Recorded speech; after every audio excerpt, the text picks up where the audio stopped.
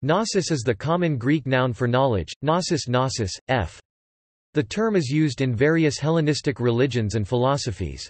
It is best known from Gnosticism, where it signifies a knowledge or insight into humanity's real nature as divine, leading to the deliverance of the divine spark within humanity from the constraints of earthly existence. Etymology Gnosis is a feminine Greek noun which means knowledge. It is often used for personal knowledge compared with intellectual knowledge idin idin, as with the French connaître compared with savoir, the Spanish conocer compared with saber, or the German kennen rather than wissen. A related term is the adjective gnostikos cognitive, a reasonably common adjective in classical Greek. Plato uses the plural adjective gnostikoi gnostikoi and the singular feminine adjective gnostike episteme gnostike episteme in his Politikos where gnostike episteme was also used to indicate one's aptitude. The terms do not appear to indicate any mystic, esoteric or hidden meaning in the works of Plato, but instead expressed a sort of higher intelligence and ability analogous to talent. Plato the Statesman 258 e. In the Hellenistic era the term became associated with the mystery cults. Gnosis is used throughout Greek philosophy as a technical term for experience knowledge in contrast to theoretical knowledge or epistemology. The term is also related to the study of knowledge retention or memory see also cognition, in relation to ontic or ontological, which is how something actually is rather than how something is captured abstraction and stored memory in the mind. Irenaeus used the phrase, knowledge falsely so called. Pseudonymos gnosis, from 1 Timothy chapter 6 verse 20 for the title of his book on the detection and overthrow of false knowledge, that contains the adjective gnostikos, which is the source for the 17th-century English term, Gnosticism. topic. Judeo-Christian usage. Topic. Hellenistic Jewish literature The Greek word gnosis knowledge is used as a standard translation of the Hebrew word knowledge in the Septuagint, thus, the Lord gives wisdom Sophia, from his face come knowledge gnosis and understanding synesis.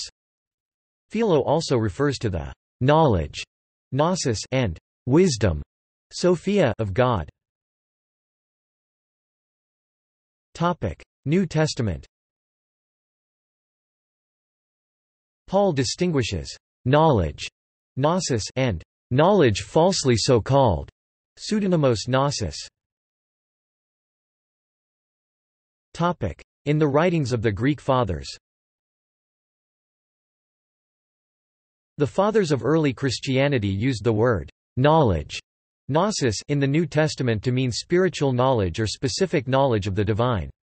This positive usage was to contrast it with how Gnostic sectarians used the word. This positive use carried over from Hellenic philosophy into Greek orthodoxy as a critical characteristic of ascetic practices, through Saint Clement of Alexandria, Irenaeus, Hippolytus of Rome, Hegesippus, and Origen, cardiognosis knowledge of the heart", from Eastern Christianity related to the tradition of the Starets and in Roman Catholic theology is the view that only God knows the condition of one's relationship with God. In Eastern Orthodox thought Gnosis in Orthodox Christian primarily Eastern Orthodox thought is the spiritual knowledge of a saint one who has obtained theosis or mystically enlightened human being.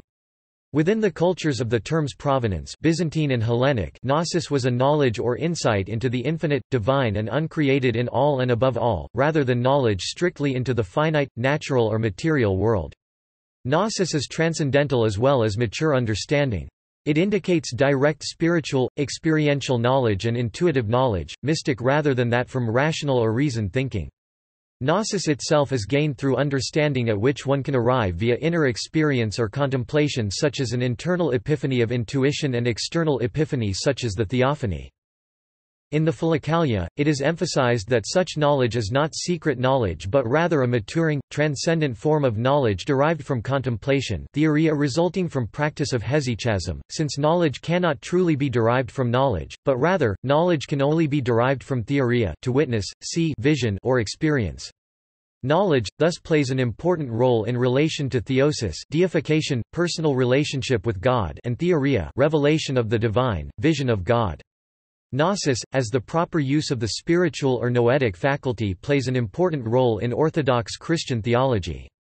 Its importance in the economy of salvation is discussed periodically in the Philokalia whereas direct, personal knowledge of God noesis, see also noma it is distinguished from ordinary epistemological knowledge episteme, i.e., speculative philosophy. Gnosticism Gnosticism originated in the late 1st century CE in non-rabbinical Jewish sects and early Christian sects. In the formation of Christianity, various sectarian groups, labeled Gnostics by their opponents, emphasized spiritual knowledge gnosis of the divine spark within, over faith in the teachings and traditions of the various communities of Christians. Gnosticism presents a distinction between the highest, unknowable God, and the demiurge creator of the material universe. The Gnostics considered the most essential part of the process of salvation to be this personal knowledge, in contrast to faith as an outlook in their world view along with faith in the ecclesiastical authority. They were regarded as heretics by the Fathers of the early Church. See also. References Sources